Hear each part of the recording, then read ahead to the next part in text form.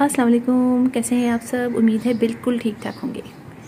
कई दिनों की रेन के बाद आज मौसम काफ़ी अच्छा है और मैंने आज अपने गार्डन की अच्छी तरह की सफ़ाई की और मैंने अपने गार्डन को दोबारा से सेट कर लिया।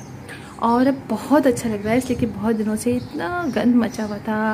उसके बाद आज मैंने सारे अपने प्लांट्स को सही तरीके से अरेंज किया और बहुत सारे प्लांट्स मैंने दूसरी तरफ़ भी रख दिए, जहाँ पर अभी मेरे बहुत सारे प्लांट्स रखे हुए हैं। और आप देखिए थोड़ी सी मैंने चेंजेस की है, कुछ प्लांट्स इधर ले आई हूँ और यहाँ के कुछ प्लांट्स जो है मैं यहाँ पर ले गई हूँ। और थोड़ा सा मैंने इनको अभी कम रखे हैं, कुछ जोड़ जोड़ के रख दिया है, इसलिए कि शायद ऐसा ना हो, बारिश फिर हो जाए। लिहाजा ये देखिए आप, बहुत अच्छा बहुत प्यारा गार्डन हो रहा है और मेरे सारे प्लांट्स जो हैं, वो बहुत ही अच्छे हो रहे हैं। और सीधा बाहर में भी, जो मेरे वेरीगेटेड वाले थे, उनमें फ्लावरिंग हो रही है। और क्योड़ा का प्लांट बहुत अच्छा हो गया है। देखिए, आप इसके बड़े बड़े लीव्स हो गए हैं। इसके कई प्लांट्स हैं मेरे पास। और जगह जगह मैंने रखे हुए हैं। और साथ ही आप पिसोनिया का देखिए, जो ये प्लांट है, मेरा इतना बड़ा हो गया है। और इसके लीव्स देखिए, माशाल्लाह, बहुत बड़े बड़े हो गए हैं। और पूरे ऐसे फैले हुए थे। तो मैंने कहा, चलो इसको ज़रा खड़ा कर दूँ। तो ना बाकी प्लांट्स को ये बिल्कुल घेर लेता था आपस में। अभी मैंने इसको खड़ा किया है, थोड़ा सा हो रहा है ऐसा, लेकिन मेरा ख्याल है कि ठीक हो जाएगा। मैं इसको फिर थोड़ा सेटिंग करने की कोशिश करूँगी। और यहाँ मेरी स्पेरिकस फर्न की जो वाइन है, वो माशाल्लाह से बहुत अच्छी निकल गई है। ये देखिए, यहाँ पर ऊपर चली गई है और बराबर वाले घर में भी ये जा चुकी है।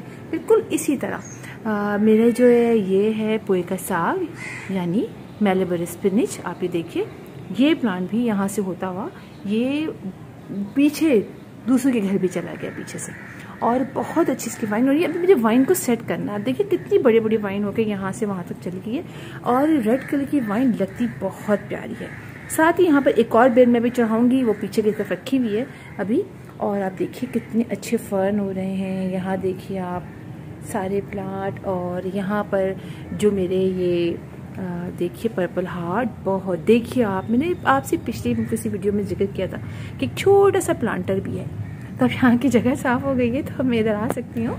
आप ही देखिए, ये छोटा सा इतनी छोटी सी बॉटल है और इसमें आप ही देखिए कितने बड़े बड़े यहाँ नीचे इसके ये हो गए हैं। देख रहे हैं और अब इसके लीव देखिए, कितने बड़े बड़े हो गए तो बहुत अच्छा प्लांट है और बहुत ईजिली ये ग्रो करता है और बहुत मतलब समझिए फैल जाता है और लगता भी कितना प्यारा है। है ना? यहाँ पर देखिए इस तरीके से ये सारे प्लांट रखे हुए हैं।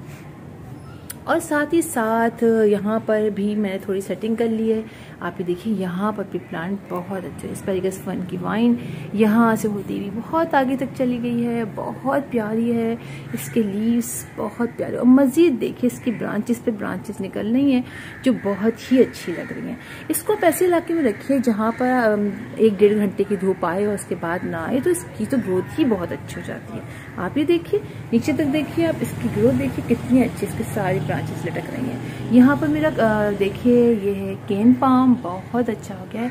और साथ ही साथ आपको मैं एक बहुत ज़बरदस्त चीज़ दिखाती हूँ। ये देखिए, ये है मेरा पेंसिल कैक्टस जिसको मैंने आज बांधा, बिल्कुल गिर गया था। नीचे से आप ये देखिए, नीचे से ये कैसा हो रहा है? ऐसा हो रहा है और ऊपर जाएँगे आप तो आप ये देखिए। ये कितना बड़ा हो गया है और मुझे लगता है अब मुझे इसको कट कर देना चाहिए। इसलिए कि ये ऊपर दीवार से टच कर रहा है।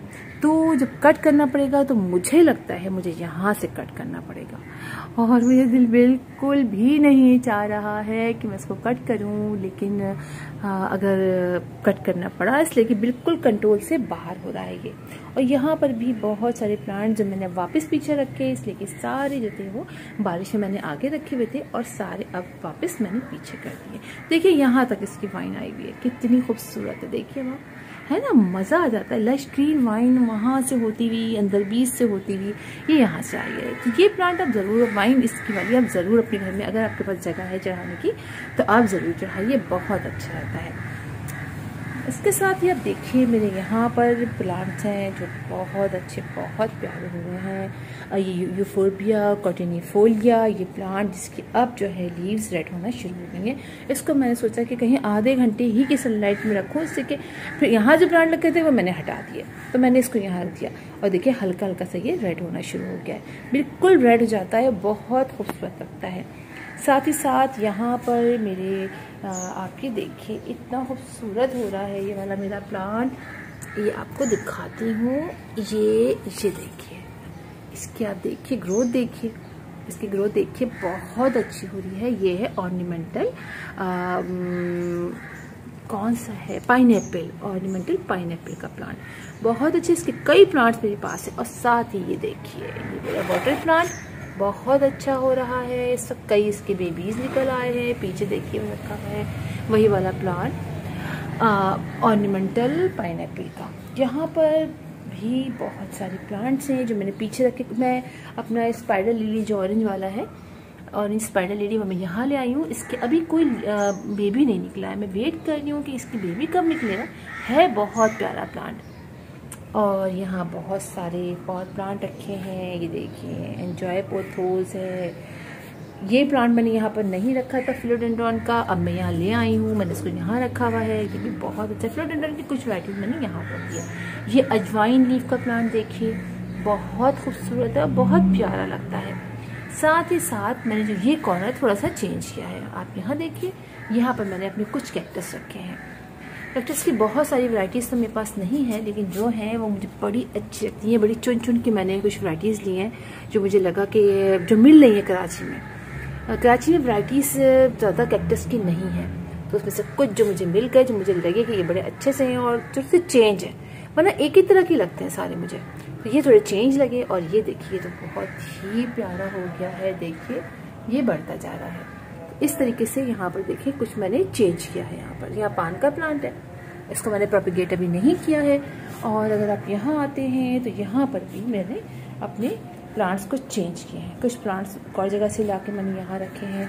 और ये तो मेरा इमली का प्लांट है, आप जानते हैं। बहुत अच्छा कि बहुत अच्छा घना होता जा रहा है। अब मैं ऐसे कर रही हूँ, मुसलसल ऐसे पिंचिंग ताकि ये पूरा घना सा हो जाए।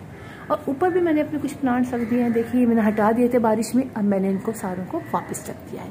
और अभी कुछ चेंज करती रहूँगी इसलिए कि आज अभी तो पहली बार मैंने उसकी सफ़ाई की है, घर आँगन की, अपनी यहाँ सहन की, और यहाँ पर थोड़ा सा मैंने किया है, और अब जो है, आप इसकी लीव्स देखिए। ये वही ऑर्नामेंटल पाइन का प्लांट है, मैं आपको निकाल के दिखाऊँ, मैंने इसको अभी ऊपर रख दिया, इसके लीव्स इतने बड़े बड़े थे इसके, ये देखिए।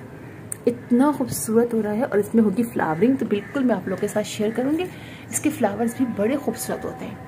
तो इस तरीके से मेरा गार्डन हो रहा है और सारे प्लांट्स बहुत अच्छे हो रहे हैं। ये देखिए चाइनीज़ एवरग्रीन का प्लांट मनी प्लांट सारे सब।